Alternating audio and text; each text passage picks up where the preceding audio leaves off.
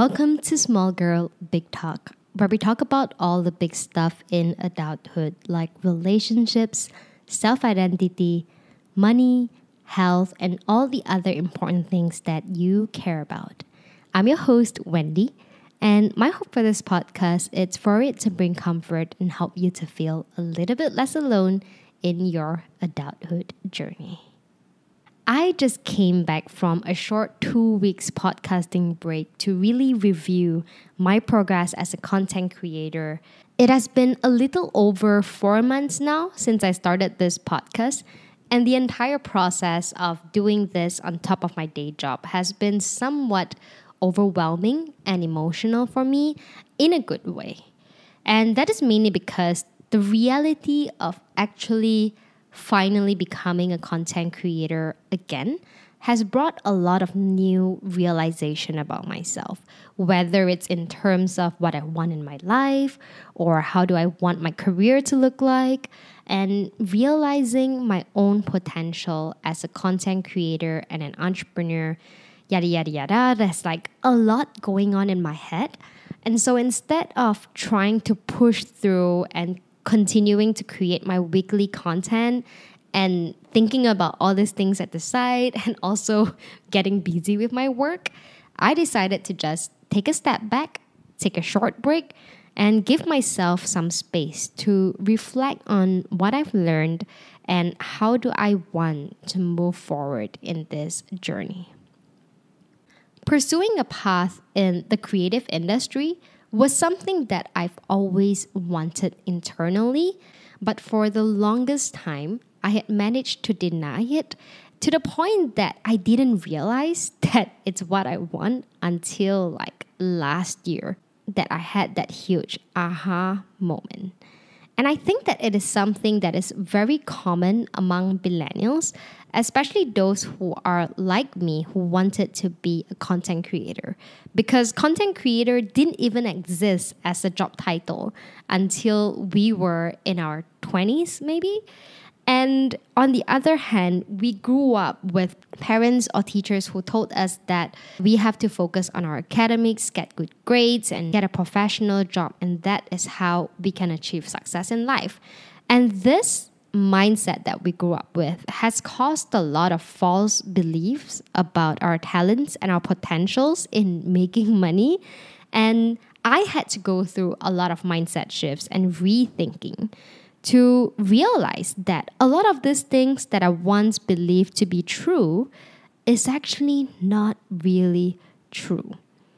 And that is why in today's episode, I want to talk to you about the fear and misconceptions associated with pursuing a career in the creative industry. And as I'm sharing that with you today, I'll kind of touch on my journey in becoming a content creator as well, which is something that is not a straight and direct path, and you get it later. So, the first thing that I really had to shift my mindset around is the thought and programming in my head since I was a child that you cannot make money as an artist. I was trying to recall if there is a specific moment in my childhood that any adult told me this statement, but I really couldn't remember any specific moment or memory of it. And if anything, I remember that my parents were actually very supportive of us when it comes to art. Because my dad is a great artist himself, he would actually personally help us with every single arts assignment that we have, especially when it comes to exams. Like even up till today, he's helping my nieces, like his grandkids, with their arts assignments as well. And whenever we had arts competition, like me and my sisters, my parents would actually take day off to drive us to the competition and be there for us all the way as well. My dad is also the person who taught me how to play the guitar, and we really enjoyed these moments together like they were always supportive with all these artsy stuffs, but I think it's because of their personal experience. So both of my parents are not super educated. Their highest education experience is actually only up till junior high or form 3 in Malaysia. And because of that, it has limited their career opportunities as well. Like my dad was not able to get as high ranking as he wanted in the previous company that he was working with. And so both of my parents, even though they were supportive of our arts and they can see that we are talented, they were also always encouraging us to really get good grades to get higher education because they personally experienced that not having education was kind of like a setback for their own career and their lives. And I get it because they personally had that experience.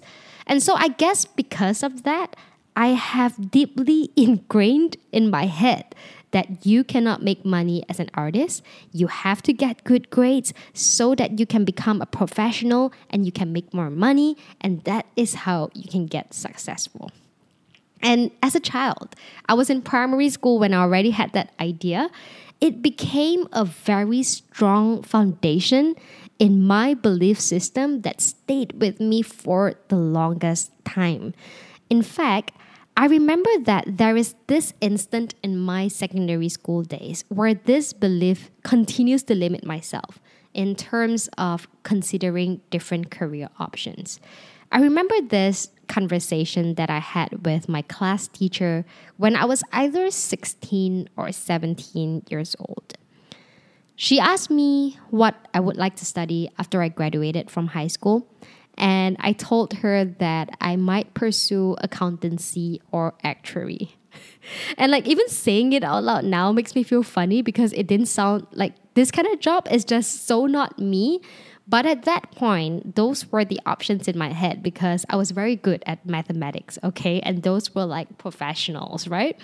And I remember that my teacher was so surprised by my answers because she felt like I have the perfect personality for mass comm or she felt like I would be perfect for the broadcasting world. But even then, at 16, 17 years old, I actually was surprised that my teacher would even suggest that, and I just brushed it off because it was so ingrained in my head that good grades, good office job, good money, successful. Like that is so ingrained in me.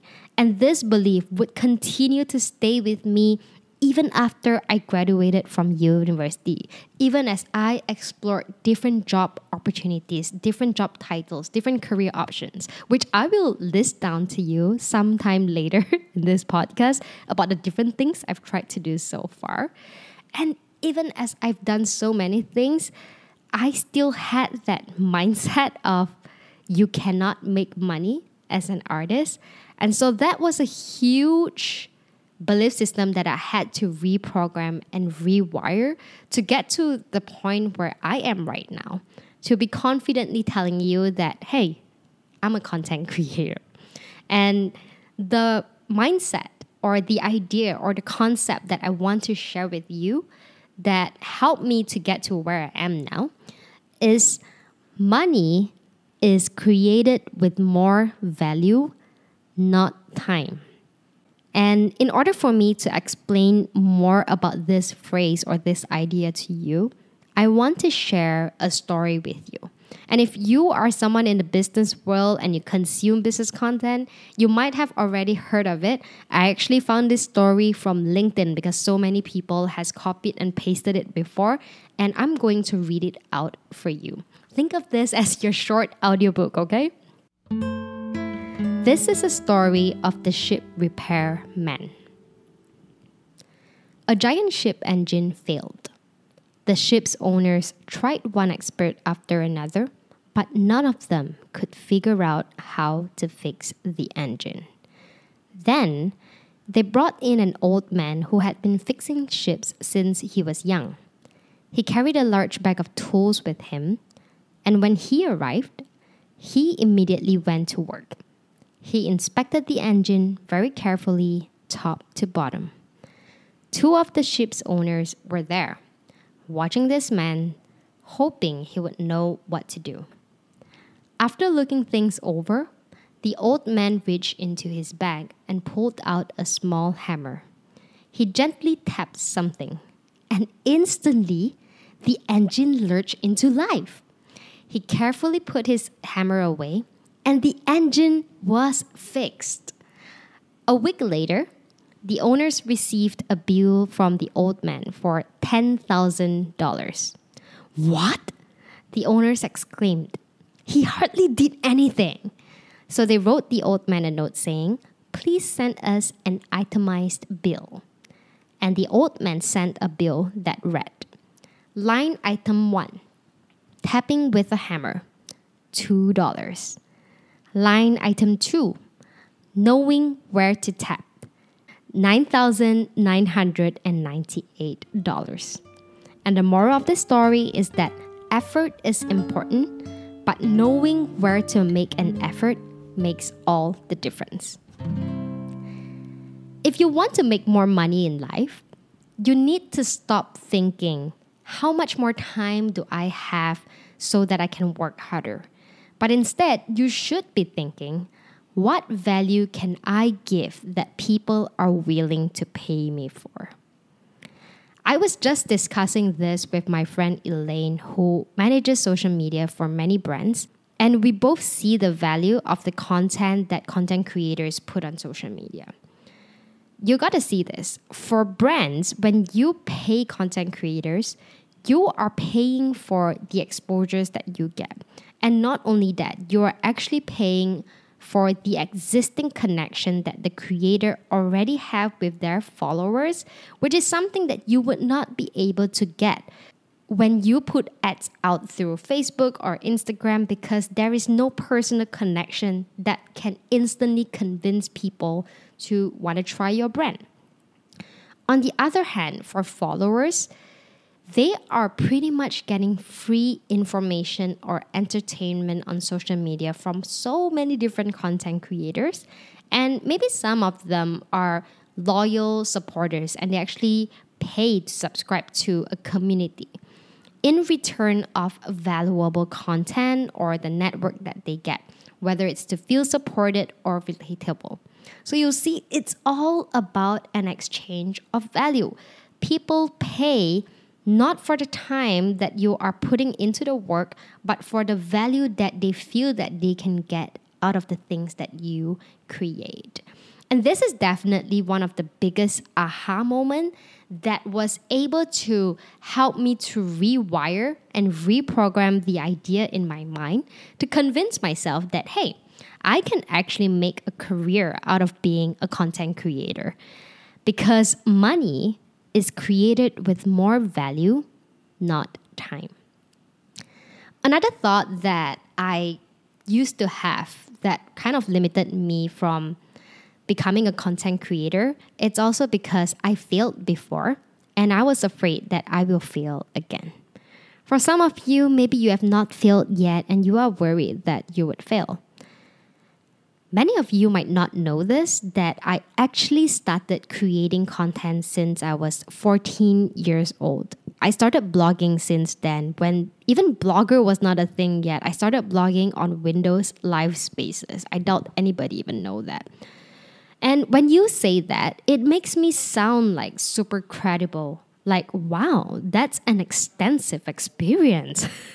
but what if I tell you that I was a content creator for 15 years and I failed to have many followers or make a lot of money out of it. Ouch. Now it sounds kind of painful.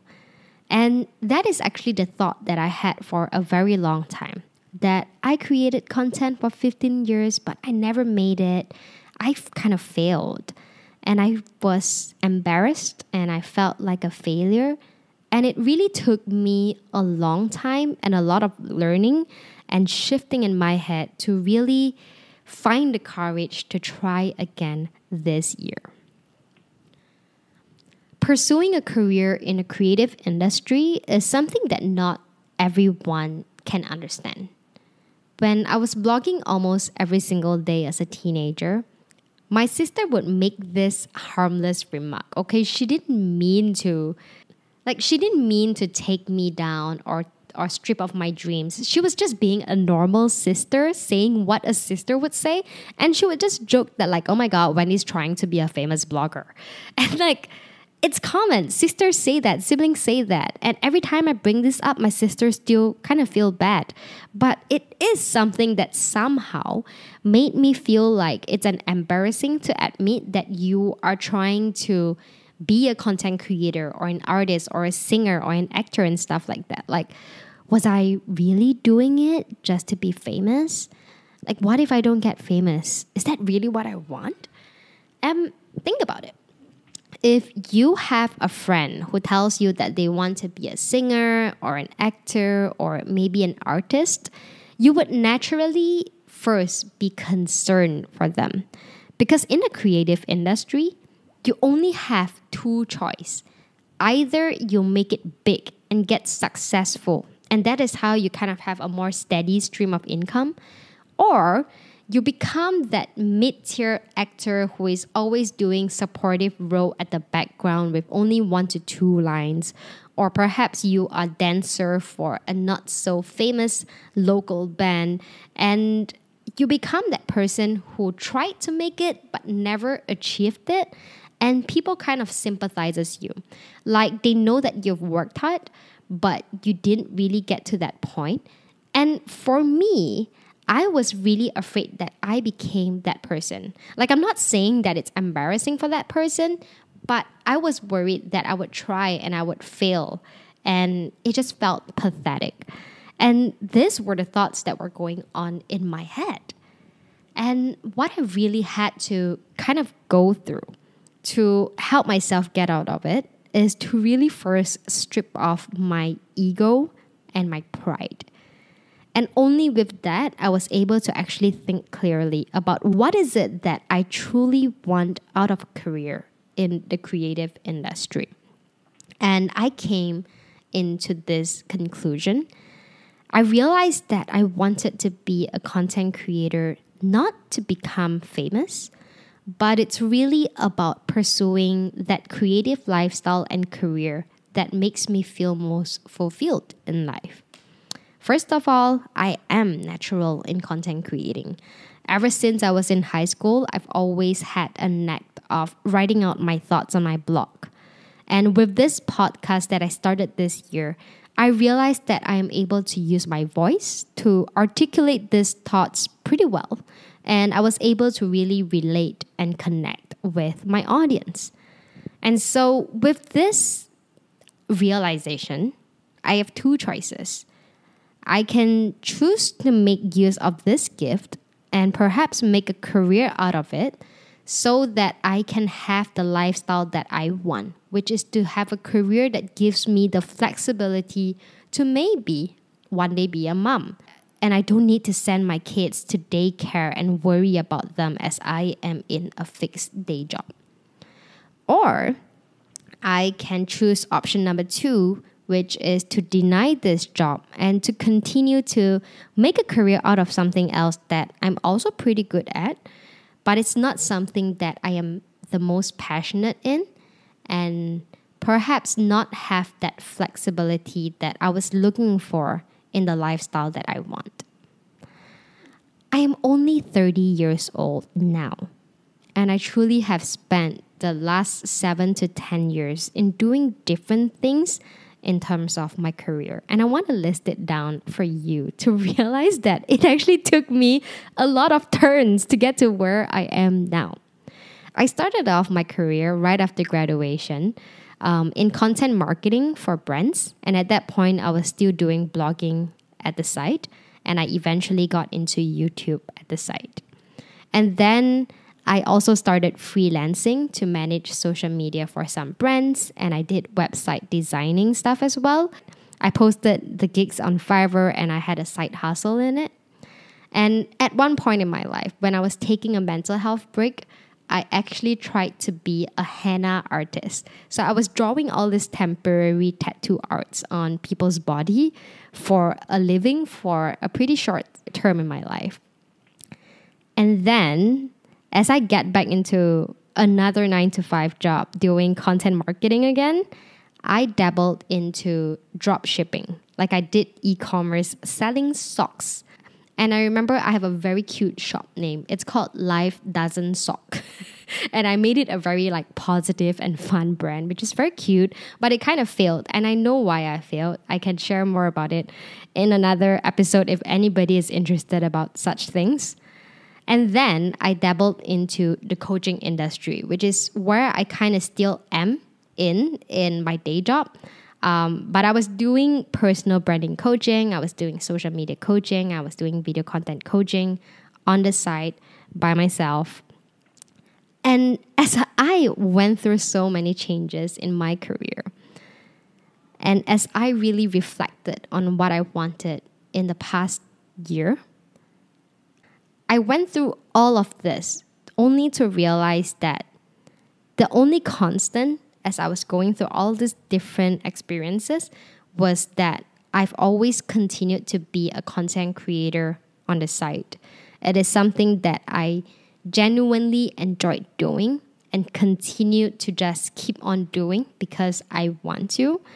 And kind of have this small dream that, ah, if only I can make full time money with doing this.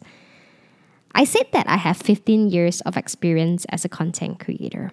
But out of this 15 years, I was always doing content creating on the side because I had my own doubts that I can actually make it a full time thing. And I was also pretty clueless about what I was doing when I create content. Like I did it out of passion, but I didn't think about the potential strategy that I can use. Like who are my target audience? What brands do I want to attract? Or what kind of value can I give to actually in exchange get money for it. Like I've never really thought about it seriously until this year as I started this podcast. And that's when I start realize like if I don't do all these things, especially with all the experiences that I've gathered in the last few years of being in the coaching industry and being an entrepreneur, like isn't it very wasted if I don't actually apply them and at least try to make content creation my full-time thing? Like, what do I have to lose? And what's the worst that can happen? The worst thing that can happen is I don't make money from it and I just need to go back to a full time job. I'm pretty confident that I can get an office job anywhere in this world. And with the skill that I've already built being a podcaster, I can even try to be an MC or, like, I don't know, get into radio if radio still exists. I can do so many things and I really didn't need to worry about it. And what got me to this point is to just strip off that pride and ego and that fear of looking like a failure in other people's eyes. When I did that, it just makes it a lot easier for me to commit into a decision of wanting to be a full time content creator or to pursue a path in the creative industry. But I do have to admit that there is one realization that I realize is that the older we get, the more commitments we have, the more responsibilities that we have. Perhaps you have already committed to a car loan. You gotta pay your rent, or maybe you gotta pay your mortgage. If you are planning to get married, you have to save up for a wedding. And if you plan to have kids, you have to save up or figure out a way to make enough so that you can sustain the life of another little tiny human being for the rest of their lives. And I know that my generation is also known as the sandwich generation for those who had to kind of provide for their kids and also for their aging parents. It is a responsibility that a lot of millennials are kind of going through. And all these reasons just makes it a lot harder to try out a riskier career path. Things are at higher stakes and it's likely going to get worse only from here. But the thought that I want you to have is if not now, when? If this is something that at 30 years old right now, you know that it's a dream that you have and you've always been thinking about it, wishing that you've done something at your early 20s what do you think you're going to think when you are in your 40s or your 50s if you don't take action today? I'm pretty sure you've heard of stories of grandpas and grandmas who shared that they wished that they try out for something that they wanted to do when they were younger, but perhaps because of the war or because of their family circumstances that they didn't get to achieve that. But if you have the privilege to do it now, perhaps you might need to sacrifice in terms of your social life or the lifestyle you can have, the money that you're making. Perhaps you need to sacrifice your after office hours to work on your craft or to build your connection or to promote your work. Wouldn't it be more worth it if you actually tried right now? We are living in a generation that is so used to having instant gratification.